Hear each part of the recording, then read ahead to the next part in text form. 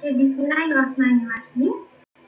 Assalamualaikum dan salam sejahtera kepada manager pada hari ini iaitu Miss Teh Menek uh, daripada Pagoda Pemasi Artis itu unit Pemasi dan Bekalan Hospital dan juga kepada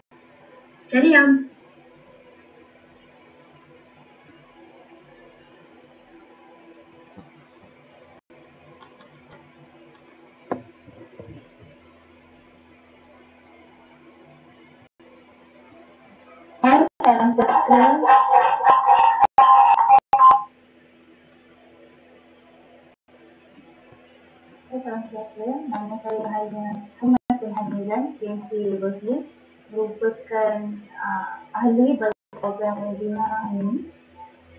Ahli seterusnya. Salam sejahtera, saya Fatin Aliana Bisma Masan, saya ahli webinar ini.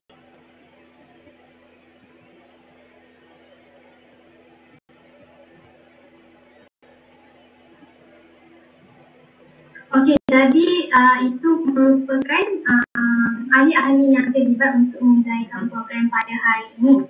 Jadi uh, sebelum saya meneruskan dengan program kita pada ini iaitu webinar awareness on unregistered medicine and cosmetics, saya ingin uh, memberi ruang kepada penjemputan kita untuk memperkenalkan diri secara ringkasan bercerita sedikit tentang pengalaman dalam bidang farmasi.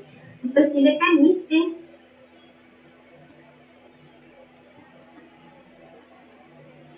Uh, terima kasih kepada MC Hani yang Encik Syaifah.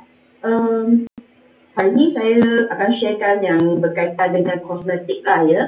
Um, secara ringkas, uh, uh, kosmetik tu kita ada banyak kategori lah. Nanti saya cuba sharekan slide supaya semua boleh nampak dan lagi teliti lah sebab kadang-kadang akan gunakan term uh, yang farmasi tu takut susah nak faham ya. Sekejap tunggu sebentar ya.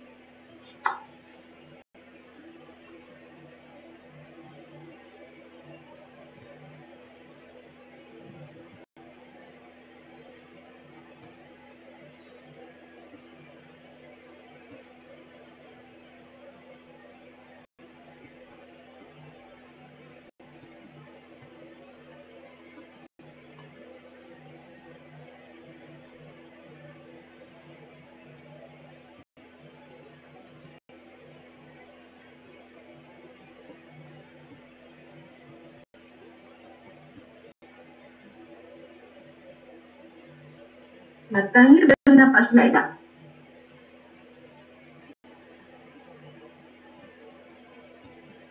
Belum lagi. Belum ni. Sekejap eh.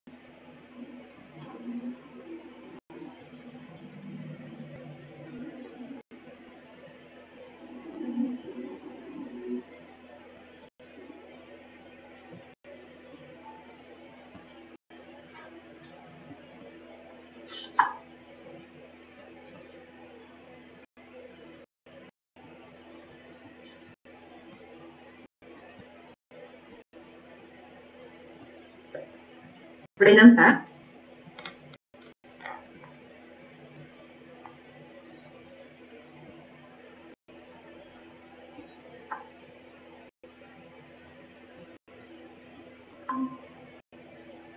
Boleh nampak slide? Boleh. Boleh ya? Okey. Uh, uh, apa itu kosmetik? Uh, dia banyak kategori uh, dalam uh, uh, kosmetik lah. Antara contoh-contohnya adalah pewangi kita yang biasa pakai, uh, produk mandian, pencegahan gigi, mulut, contohnya uh, uh, macam uh, ubat gigi, semua tu kosmetik juga lah. Okey, ada juga produk kuku, bedak, deodorant atau yang anti peluh, yang produk anti sedut, yang uh, macam yang sunblock semua pun dalam kategori kosmetik. Dan, dan contoh-contoh yang lain, macam contoh gambar dalam layar.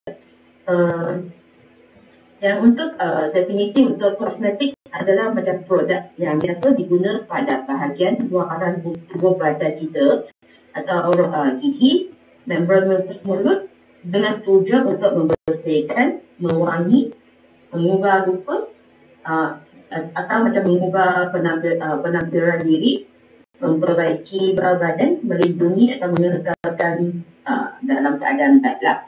Uh, macam contoh-contoh lagi lah. Okey, uh, untuk semua kosmetik yang dalam Malaysia, kita perlu bernotifikasi. Uh, apa itu bernotifikasi? Uh, iaitu produk kosmetik uh, tu uh, yang uh, penggila atau uh, peniaga tu dia kena mengisytiharkan atau memaklumkan butiran produk kosmetik kepada KKM. Tetapi produk kosmetik yang bernotifikasi tidak bermaksud uh, produk tersebut telah diberikan uh, oleh KKM. Uh, dia hanya memaklumkan uh, maklumat produk kepada KKM. Uh, kemudian uh, tetapi ada sesuatunya produk di pasaran uh, yang sering disalah faham atau dikategori dalam uh, kosmetik. Tetapi sebenarnya dia bukan. Nah, uh, betul antaranya makanan atau minuman yang diiklan untuk menguruskan badan atau produk yang dalam bentuk suntikan diproduksi untuk menjaga muka, kulit atau badan. Uh, contohnya ada seperti kita tu banyak um, uh, dia mempromosikan uh, suntikan vitamin C atau tranexamic acid lah. Tapi sebenarnya semua itu bukan kosmetik ya. Sebab uh, cara penggunaan produk tersebut tidak mematuhi skop tarifan produk kosmetik. Dia pada rawatannya itu dah. Kedua, produk untuk kegunaan luaran yang disapu tetapi ada tuntutan perubatan seperti menghilangkan sakit sekali sendi. Produk tersebut ada dalam kategori ubat ya. Uh, ketiga, produk yang disapu pada bahagian alat sulit lelaki atau perempuan uh, dengan tujuan merangsang seksual. Dan juga produk yang disapu untuk rawatan penyakit kulit seperti eczema, psoriasis, jangkitan kuman atau luka semua bukan kategori di dalam kategori ubat. Okey. Macam mana KKM pastikan semua kosmetik yang dalam pasaran Malaysia selamat? Sebenarnya uh, bahagian regulatory farmasi negara NPRA dia uh, biasa menjalankan pemantauan terhadap produk kosmetik di pasaran secara berterusan dengan aktiviti surveillance. Uh, itu program pengawasan mutu produk kosmetik bernotifikasi di pasaran atau kita panggil post market surveillance. Okay, dalam uh, program post market surveillance, uh, banyak aktiviti yang dijalankan oleh NPRA lah. Antara uh, akan menyaring kandungan bahan atau makluman produk kosmetik bernotifikasi. Lepas tu dia akan memesan uh, sampel ya, sampel dari market produk kosmetik. Kemudian uh, akan menjalankan ujian terhadap sampel produk uh, kosmetik. Uh, NPRA juga akan menembakkan uh, label atau tuntutan yang uh, produk-produk kosmetik untuk uh, memastikan dia tak ada overclaim. Nah. Juga akan memeriksakan premis uh, pengirangan akan auditkan asal maklumat produk iaitu biasa sebelum notifikasi dijalankan syarikat akan hantarkan maklumat produk yang maklumat itu. Uh, juga akan memantau iklan uh, kosmetik uh, nak maklumkan semua uh, kosmetik yang diiklankan dia kena uh, ada dapatkan yang hmm, uh, no, kebenaran daripada KKM lah. Uh, juga akan pengurusan aduan produk kosmetik supaya tindakan dapat diambil lah. Uh, biasanya NPR membuat persembahan produk uh, kosmetik di pasaran berdasarkan risk-based approach.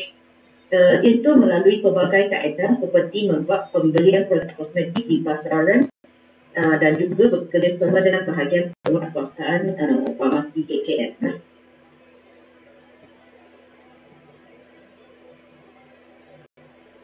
Okey.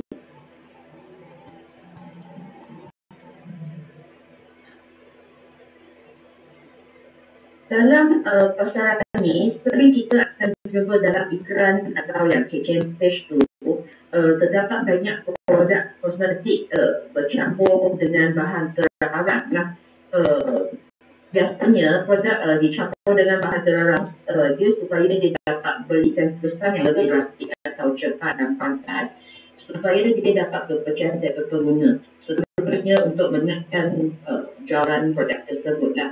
Uh, biasanya barang terlarang yang biasa dicampur dalam kosmetik uh, yang paling kerap jumpa adalah mercury diikuti dengan hydroquinone dengan cretinone. Apa uh, yang contoh uh, apa itu mercury? Mercury adalah sejenis uh, logam berat yang biasa digunakan di dalam industri kimia dan elektronik. Tetapi uh, dia sangat toksik kepada manusia lah biasanya kita kena dikendari dengan cermat. Uh, kalau ada tumpahan tu, kita ada special uh, prosedur untuk handle. Uh, yang puree ni, dia uh, biasa dicampur dalam krim pemutih kulit. Uh, tetap, uh, kalau dia uh, dicampur dalam kuantiti yang banyak tapi dia akan berisiko menyebabkan kerosakan organ utama, juga akan menyebabkan masalah saraf dan keguguran. Yang kedua, hydroquinone, dia biasa dalam uh, produk pemutih, uh, pemutih kulit lah yang untuk mencerahkan uh, warna kulit. Kemudian dia bertindak untuk uh, dengan menghapuskan sel melanin uh, atau pelindung, pelindung kulit kita lah. Dan ya, seterusnya dia akan menyebabkan kulit terdedah kepada sinaran UV. Dan ini akan berisiko menyebabkan arahan kepada pada kulit pemelupasan kulit yang teruk uh, dan kulit terbakar dan akan menyebabkan sawan dan kanser kulit. Uh, treatment pula sebenarnya dia ada ubat terkawal yang digunakan untuk masalah jerawat dan kronik tetapi dia perlukan pemantauan doktor. Biasa treatment akan dicampurkan dalam krim jerawat dan dan ini akan menyebabkan uh, ini berisiko menyebabkan alahan pada kulit, keguguran dan kecacatan jadi tetap uh, serta masalah mental.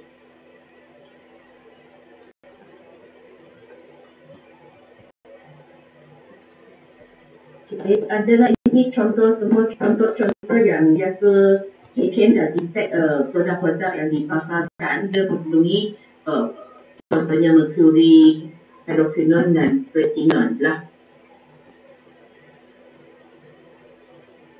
Okey, uh, selepas kita detect uh, produk-produk kosmetik dicampur dengan bahan terlarang, uh, KKM akan mengambil tindakan lah atas uh, produk kosmetik yang dikesan mengandungi bahan terlarang. Antaranya, notifikasi yang produk tu yang telah dibuat sebelum ni dia akan automatically terbatal dan syarikat tersebut diarahkan untuk memberhentikan penjualan dengan serta-merta dan kena ambil balik produk-produk itu daripada pasaran dan melupuskan produk kosmetik terlibat. Uh, kemudian, uh, tetap um, Bahagian semua kawasan farmasi juga akan dimandung berkenaan produk terlibat yang telah dikesan uh, atau mengandungi bahan terlarang untuk tindakan. Kemudian KKM pula dia akan dengan bertindak membuat sebaran melalui kenyataan akhbar atau laman uh, Facebook uh, KKM kepada orang ramai agar memberhentikan sesuatu pengguna produk kosmetik. Uh, untuk publik atau pengguna, Pengalaman uh, akan berjumpa lah di dalam laman web NPRA iaitu www.npra.gov.my Maklumat yang Malaysia ni kita akan juga dikongsi dengan semua pihak berkuasa, uh, berkuasa negara Asia melalui sistem pengungsian maklumat iaitu uh, Asian Post Strategic Alert System. Okay. Sering tertanya lah sebab uh, pihak farmasi tak buat banyak rampasan kenapa uh, produk-produk yang mengandungi bahan terlarang masih terdapat di dalam pasaran. Uh, sebenarnya uh, produk itu selagi ada permintaan uh, lagi itulah ada perkara dia. Uh, produk yang macam kosmetik ni biasanya kita sangat senang dijual pasal mendapat permintaan uh, ramai terutamanya penjualan melalui nama-nama sosial seperti Facebook atau Instagram. Uh, uh, berniaga produk dia telah lantas dia sanggup untuk membayar denda saja kemudian dia akan buat mas uh, semula pemasaran produk yang sama tetapi dengan nama yang lain kita panggil rebranding. Mereka juga ada gunakan cara pembukuan yang berlainan daripada asal dan nampak macam adalah produk baru. Sebenarnya dia hanya tukar packaging dan uh, asalkan dalam uh, market semula lah. Uh, terdapat juga macam segelintir peniaga yang tidak bertanggungjawab. Uh, mereka sanggup mencampurkan bahan terlarang dalam produk jualan uh, semata-mata untuk mendapatkan keuntungan daripada keinginan pengguna yang dengan cara mudah lah. Sebab pengguna dia akan tertarik uh, dengan ke, atau terwujudkan dengan kemujaraban produk tersebut sebab dia macam sampai tiap level peniaga dia akan macam promotekan produk uh, dengan testimonial atau macam kesan yang cepat dan dia akan macam uh, mendapat sambutan dari pengguna lah. Uh, dengan ini uh, pengguna pun tidak menyedari mereka tak ditipu oleh peniaga, uh, peniaga tersebut. Uh, juga kan produk uh, kosmetik sering dicampur uh, palsu dengan bahan terlarang uh, kebiasaan menggunakan dengan macam sukatan yang tak mengikut yang diperlu sukatan yang dibenarkan lah. Supaya dia uh, member, uh, mem, produk tersebut dapat kesan uh, dengan pantas dan masa yang singkat. Uh, dengan ini macam uh, seterusnya uh, pengguna akan terdedah kepada kesan-kesan sampingan uh, ubat tersebut juga lah ya. Okey, sekiranya pengguna mengalami kesan sampingan selepas guna produk kosmetik, apa-apa yang boleh dilakukan oleh pengguna atau dia boleh komplain kepada pihak mana ya. Sekiranya ada orang ramai mengalami sebarang kesan sampingan daripada penggunaan produk kosmetik, mereka boleh melaporkan kepada Section surveillance dan aduan, pusat komplain, uh, kom, uh, pusat compliance dan kawalan kualiti NBRA melalui email aduan pos at nbra.gov.my atau dia boleh buat call di tarian 03 780 1833 uh, azan juga boleh disalurkan kepada cawangan penguasa farmasi di setiap jabatan kesihatan negeri. Uh, aduan atau macam adalah ada aduan atau pertanyaan berkenaan dengan penimportan produk farmasikal dan kosmetik juga boleh menghubungi sahaja penguat kuasa farmasi KKN di kontak number uh, itulah 0378413200 atau mana-mana pejabat cawangan pembuat kuasa farmasi negeri. Uh, kalau ada ada ada pertanyaan boleh ditaruh kepada sistem SIPA lah, sistem pengurusan aduan awam KKN. Uh, kalau ada mengalami apa-apa kesan sampingan, pengguna dinasihatkan untuk berhenti menggunakan produk kosmetik terlibat Nah, kalau kesan teruk sangat, boleh merujuk kepada profesional kesihatan atau doktor jika perlu.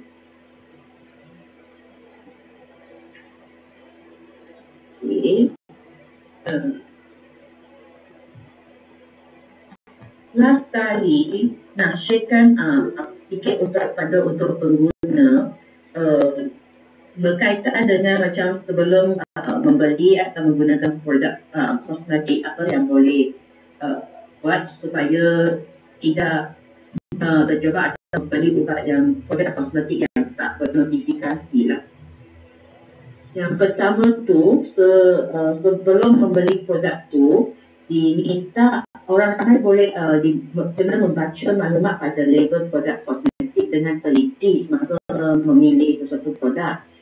Uh, dia uh, dalam produk label uh, kosmetik, uh, pengguna boleh menyebab penggunaan produk, kandungan bahan yang dalam bahan kosmetik, tarikh dikilangkan atau tarikh luput uh, produk tersebut, cara penggunaan dan label amaran.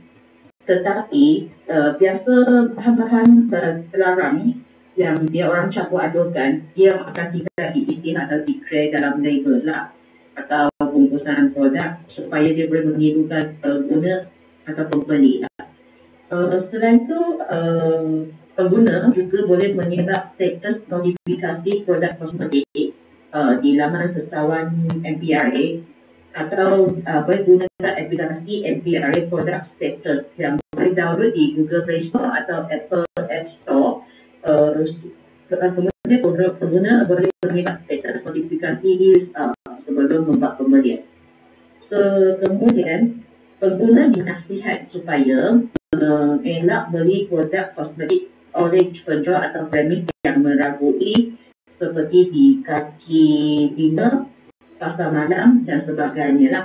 Kalau boleh, cuba beli produk dan kosmetik daripada sumber yang boleh dipercayai. Sebab kalau uh, penjual tu dia jual di dekat kaki tinggal atau pasar malam, cara penyimpanan produk tersebut mungkin tidak sesuai dan uh, kita mungkin berdasarkan pada uh, cuaca yang tidak sesuai dan dikhawatir boleh mempengaruhi kestabilan dan merosakkan kandungan produk kosmetik tersebut. Uh, langkah ini juga mengelak pengguna daripada terjebak dengan produk kosmetik tiruan. Uh, pengguna juga sentiasa uh, perlu sentiasa berwaspada dan tidak mudah terperdaya dengan iklan-iklan atau testimoni yang menjanjikan kesan yang cepat. Sebab uh, produk-produk tersebut dia berpotensi untuk dicampur palsu dengan produk terlarang. Uh, kemudian ber, uh, sekiranya uh, pengguna juga perlu lebih berhati-hati terutama ketika membuat pembelian produk uh, kesihatan kosmetik secara atas talian.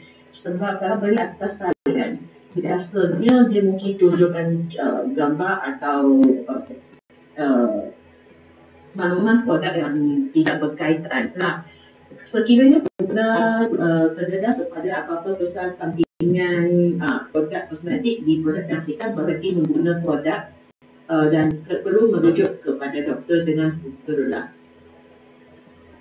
Okey, di sini saya share adalah uh, untuk menyimak uh, status pendaftaran produk uh, dan notifikasi kosmetik itu, kita boleh pergi ke laman uh, bahagian regulatory uh, formasi negara NTRA uh, dengan page macam itu lah.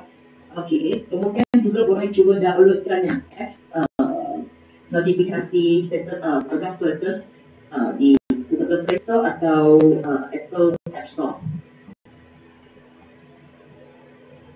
Jadi sekiranya terdapat uh, pertanyaan atau aduan berkait bertentang dengan ubat-ubat kosmetik, uh, boleh uh, hubungi Pusat Pameran Farmasi Kebangsaan, uh, National Pharmacy Call Center MPCC melalui talian uh, 1-800-88-6722. Tapi kali ini dia terbuka pada hari Isnin hingga Jumaat, ofis tahun 8 pagi hingga 5 petang. Kecuali di cuti umum. Kalau ada apa pertanyaan boleh cuba call hari itu lah. itu saja yang boleh saya share berkaitan dengan uh, produk kosmetik. Okay. Okey, uh, terima kasih um, gentleman.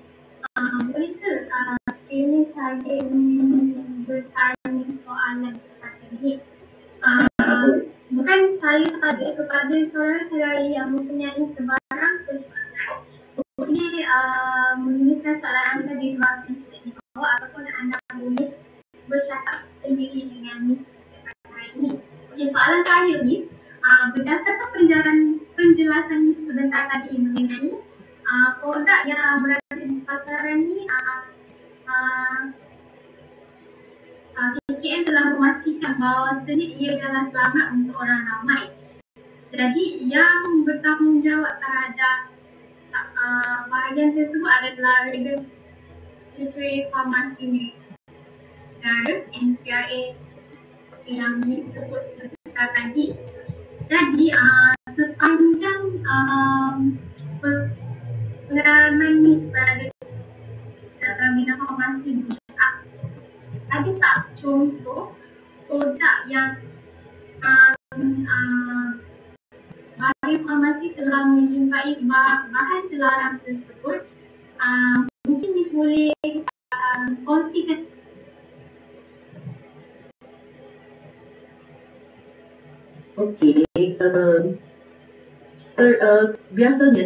kalau uh, maksudnya yang ada produk yang tercampur dengan bahan terlarang di market ke, yang dijumpai. Okey, biasa kalau uh, semua dia tengok uh, Facebook page yang KKM tu, kalau uh, pihak farmasi atau MPRA yang mendapati uh, sebarang atau biasanya uh, yang komplain tu kena datang dari pabrik tu lah dia bawa uh, dia macam dia syaki dengan uh, keputusan uh, produk tu biasa dia akan komplain kepada pihak berkuasa uh, regulatory farmasi uh, lepas tu yang pihak farmasi sana akan buat siasatan so uh, dah mendengar ujian-ujian maaf supaya kena pasti kandungan yang terdapat dalam produk tersebut sekiranya dia, uh, memang detect uh, produk tersebut dia mengandungi bahan terlarang yang dia tak declare dalam label atau maklumat produknya. Jadi tindakan tidak akan di, diambil lah. Dia macam kita biasa asalkan notifikasi dia, kemudian kita akan uh, make sure dia ada produk uh, uh, recall. Semua tu uh, untuk public pula, biasa kita akan macam uh, uh, dalam kan news tu dekat dalam laman Facebook dan KKM tu biasa dia akan jumpa. Selain tu dia juga akan pamerkan semua maklumat di uh, surat khabar supaya public boleh nampak lah dengan uh, gambar-gambar produk tersebut. Supaya kalau produk uh, public atau pengguna ada uh, membeli atau tengah menggunakan produk tu akan sedar supaya dia akan berhenti penggunaan produk tersebut. Ada terjawab soalan Cik Dah? Uh, menjawab tapi uh, adakah mungkin tahu uh, contoh uh, produk yang pernah dijumpai oleh farmasi yang mempunyai bahan terlarang. Contoh, uh, tadi tadi saya ada sharekan gambar-gambar yang biasa yang farmasi sudah ter detect produk tu lah. Uh, tapi mungkin tak, tak, tak nampak tadi atau mana. Uh, okay. Nanti saya share balik gambar-gambar sebab saya uh, yang paling latest tak sure lah tapi nanti saya share sikit gambar tu lah ya.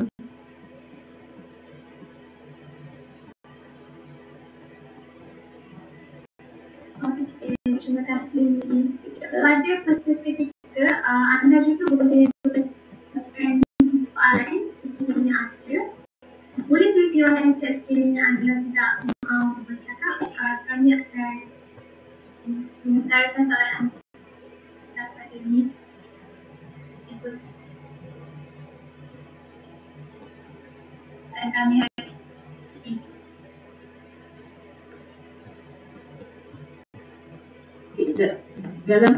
ini adalah semua produk yang di sofa pihak farmasi sudah dia dicampur dengan bahan-bahan terlarang lah. Yang bahagian atas tu dia dikesan dicampur dengan bahan mercury. Uh, yang bawah pula dia dapat pesan dia campur dengan hydroquinone dan retinol. Biasa untuk uh, dia campur dengan produk uh, mercury atau hydroquinone untuk pesan pemutihan atau macam bagi macam appearance kulit yang nampak lagi cerah atau rata lah.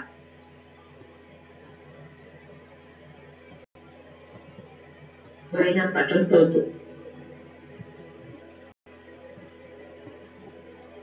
Ah, ya, boleh ni. Okey, ini yang biasa contoh-contoh yang kita dapat lah.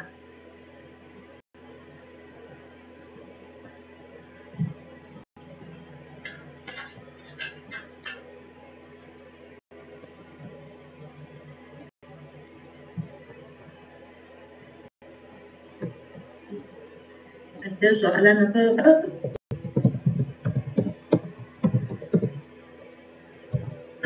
Uh, lagi tak Yumi, uh, antara bahan yang telah uh, kongsikan sebentar tadi, bahan yang terlarang yang uh, selalu ada dalam produk kosmetik, antaranya mercury, hydroquinone, tretinoin dan steroid kan.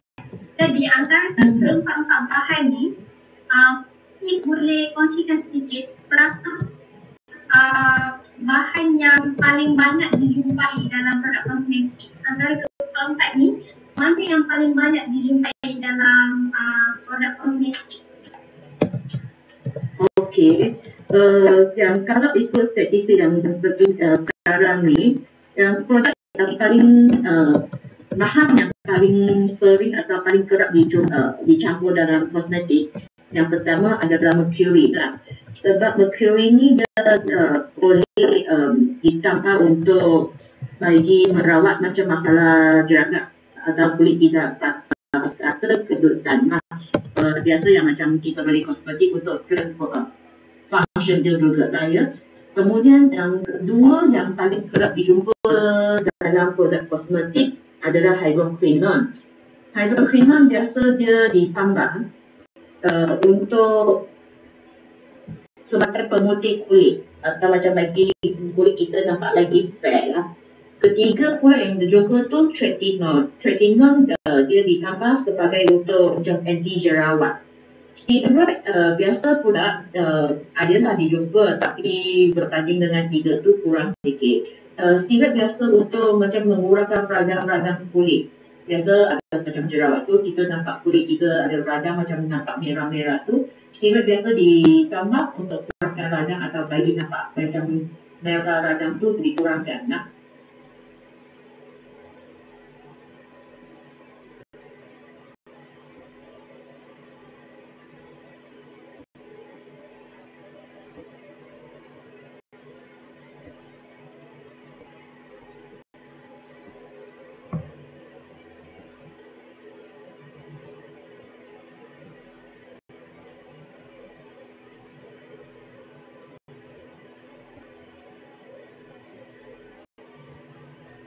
Ada soalan lagi?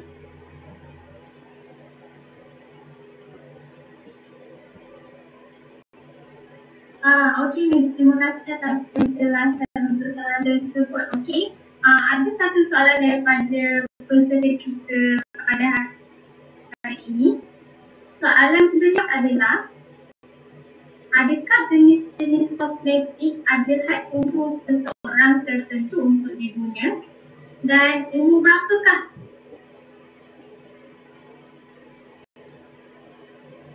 Okey, untuk hak umur tu sebenarnya uh, tak ada yang macam limit hak berapa, umur berapa lah. Tapi ini hanya tidak disarankan untuk biasanya kosmetik buat akan trend tidak disarankan untuk pengguna kanak-kanak. Uh, sebab uh, kumpulan kanak-kanak ni dia punya berbanding dengan dewasa, kita cakap kulit dia lagi nipis atau macam seterusnya uh, penyampak ubat untuk uh, golongan kanak-kanak akan lagi uh, banyak berbanding dengan dewasa lah. Uh, kalau macam uh, biasanya produk kat market, uh, dia orang buat saja semua tu untuk uh, penggunaan dewasa. Sebab uh, dia dengan macam kandungan ada macam dia nak claim untuk macam akan uh, level macam untuk uh, pencerahan kulit dia ada kandungan tertentu. Tapi untuk macam kanak-kanak dengan macam kulit yang lagi nipis, kita takut dia akan terdedah kepada uh, kandungan atau macam dia akan menyerap dengan kuantiti yang lagi banyak. Biasa kalau uh, untuk dewasa tak ada problem. Dia tak ada cakap hak uh, limit macam age berapa, uh, umur berapa. Semua golongan boleh je lah. Tapi kalau kanak-kanak, biasa dia ada, dia perlukan macam uh, uh, cuci muka biasa dia ada carbon tertentu dia akan macam pasaran yang special untuk budak-budak lah. Macam dengan macam sabun mandi pun biasa dia dalam market atau macam berbeli kat kerajaan Boston tu dia ada kategori macam untuk budak-budak atau dewasa. Uh, semuanya disebabkan macam dia cap dia macam masukkan dengan macam kandungan yang lagi susah kepada budak atau dewasa lah.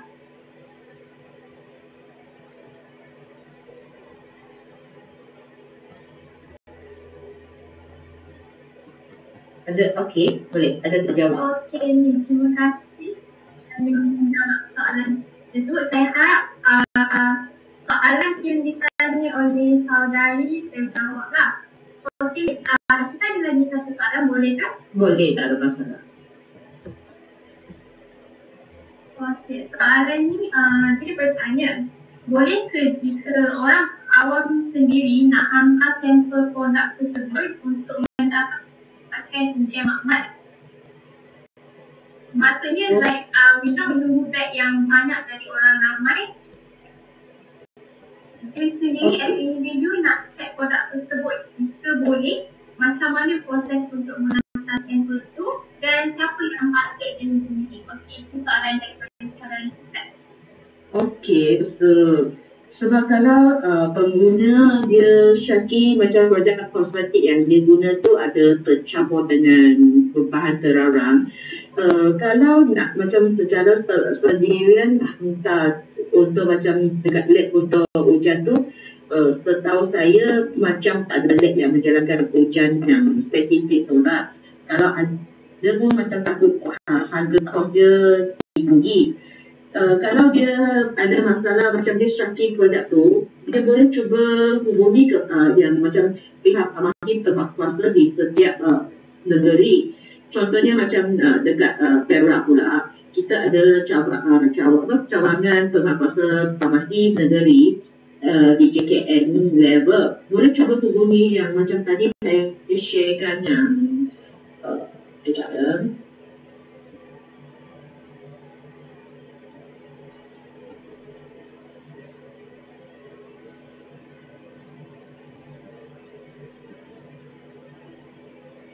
Okey, uh, kalau ada macam uh, semua ada prob uh, syaki tu, sebenarnya boleh macam cuba hubungi bahagian pernafasan farmasi di talian sana lah. Kemudian kalau uh, atau macam sebuah cawangan pernafasan farmasi pun akan handle. So nanti cuba call dekat dia orang, dia orang akan macam buat appointment supaya you boleh hadapkan sampel kepada pihak atau cawangan pernafasan farmasi dan dia orang akan hantarkan kepada lab yang tentu untuk menjalankan uh, catatan. Ha. Kalau dia betul-betul mengandungi bahan terlarang, dia akan bagi atau dia tak ada mengandungi pun, dia akan bagi uh, feedback atau menumbalas kepada yang orang yang komplain. Kalau memang uh, dia detect ada tercampur dengan bahan terlarang, seterusnya uh, pihak farmasi juga beberapa farmasi juga akan menyebarkan maklumat tersebut kepada orang awam semua dengan cara-cara yang tadi saya sebutkan. Sama ada uh, akan uh, bagi gambar semua dalam surat khabar atau dia akan juga akan macam uh, spreadkan semua news di laman uh, FB.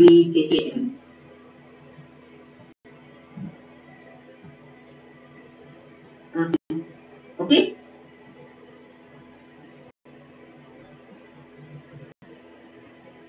Okey, terima kasih. Harapnya uh, soalan daripada saudara kita itu tadi terjawab lah.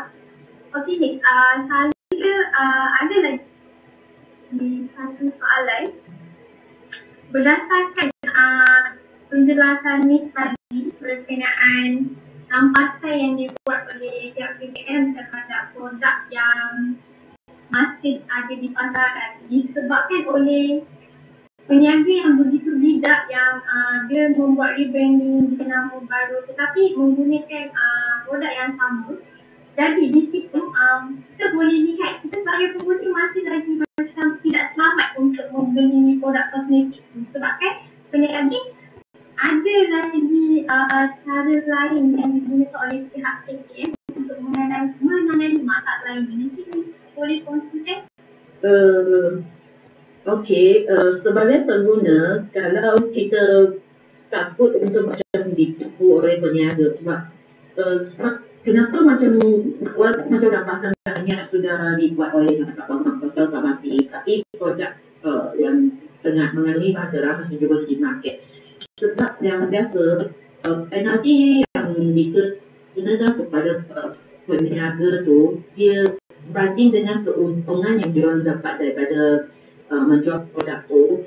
Uh, kiranya macam penalti tu tak banyak sangat lah. Jadi biasanya peniaga dia orang sanggup bayar saja yang uh, penalti tu. Uh, supaya produk uh, kemudian dia hanya buat rebranding dengan tukar packaging atau macam tukar-tukarkan yang ada label supaya dia dipasarkan semula jadi yang biasa macam sebagai pengguna apa yang kita boleh buat supaya kita tak terbeli produk yang di luar tu.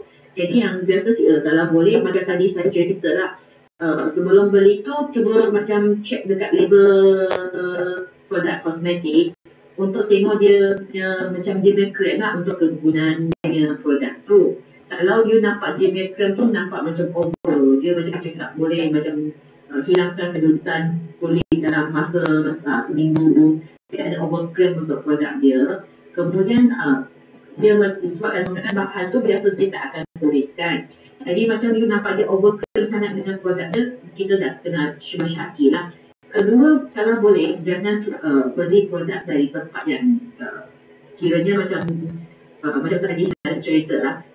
Uh, cuba kalau boleh beli kat kedai yang uh, berdaftar. Contohnya macam kedai-kedai botol tu atau macam uh, kat luar tu.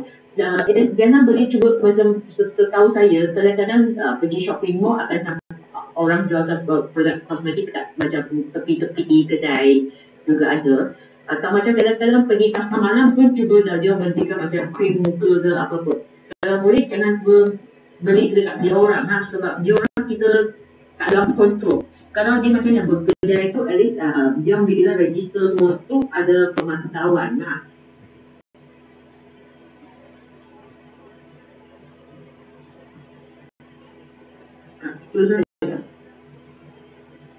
Okay, Miss. Terima kasih atas penjelasan tersebut. Uh, ini adalah uh, soalan terakhir daripada peserta kita. Jadi uh, soalan ni ialah jika kita terguna atau terpakai produk Mercury, apa yang boleh kita buat bagi boleh sama?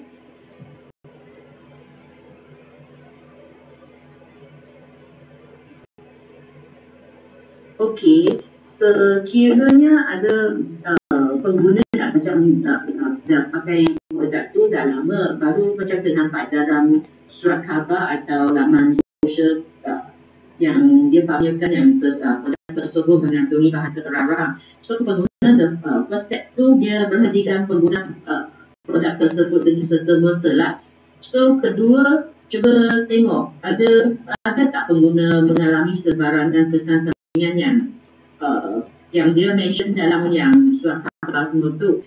Tapi sebenarnya kalau macam guna dengan pagi yang kecil tu, dia tak ada ham atau macam uh, apa, uh, dia tak mengenal apa-apa ke apa ke keselahatan kesihatan kita lah. Hanya dengan berhenti dengan serta-merta. Tapi uh, kalau lepas menggunakan produk yang mengandungi bahan terlarang, dia mengalami uh, kesan sampingan yang macam kulit dia macam ada Uh, bengkak, radang, teruk semua itu uh, dalam mengalami apa-apa kesan-sampingan uh, minta jumpa doktor segera lah supaya dapat terima rawatan yang sepatutnya. Okey.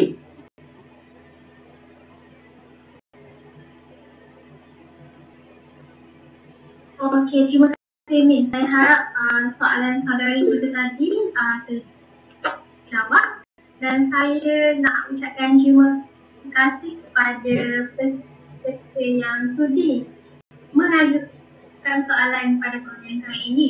Sebelum kita mengakhiri program hari ini, mungkin uh, saya nak minta statementnya untuk memberi kata-kata kecil kepada kami dengan semoga macam mungkin boleh memberi nasihat nasihat pentingnya untuk kita guna ini diubat mungkin Miss boleh uh, bagi sekadar dua kata itu. Okey, uh, ya. Untuk biasa kita ni, uh, kosmetik memang lah, uh, especially nak macam mencantikkan kulit, memang semua orang mengidamkan lah kulit yang cerah, warna cerah, kemudian macam nampak uh, apa, uh, pun tak bekerja ke fan betul. Jadi untuk yang cadangan saya hanya bila memilih produk tu kalau uh, kalau boleh saya cuba yang ada brand lah. Uh, yang, kemudian macam contohnya kalau nak beli produk pun dari kedai yang berdaftar. Jangan cuba beli kat um, yang macam mencurigainya penjaga lah. So kalau berminat macam untuk kosmetik, uh, maksud maksud cik tadi tu bagi apa dan dapat apa uh, suggestion apa ya uh, mungkinlah boleh uh, memberi uh, uh, kata kata untuk uh, peserta-peserta kita ini betapa pentingnya untuk kita mengetahui kandungan produk bagi kosmetik yang uh, diorang bakal beli sebelum beli itulah. Okey. Uh, sebenarnya kalau nak tahu pasal kandungan atau macam kuantiti dia, uh, ada suka untuk yang macam pengguna lah. So, alias sebab biasanya satu produk tu dia claim dekat dia makluman tu dia ada banyaknya. Tak, uh, sebab kita pun tak tahu apa function untuk setiap bahan tu. Jadi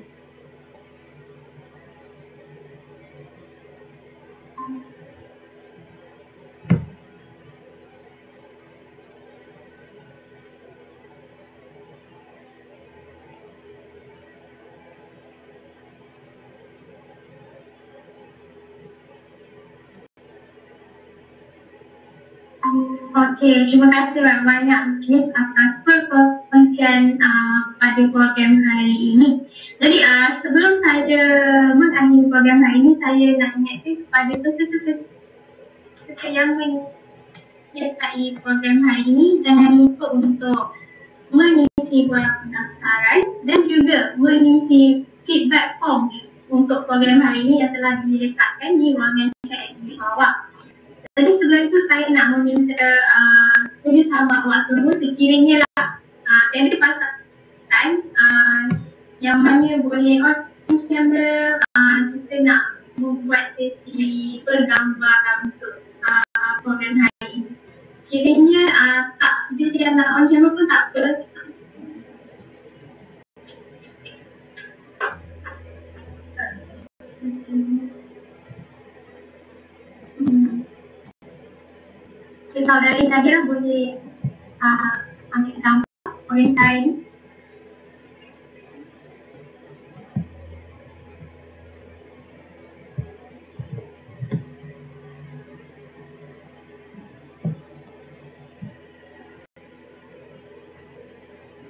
Okey, uh, terima kasih atas kerjasama semua. Jadi saya di sini ingin mengucapkan terima kasih sekali lagi kepada saudara-saudara yang sedikit meluangkan masa untuk menyertai program kami pada hari ini dan tidak lupa juga kepada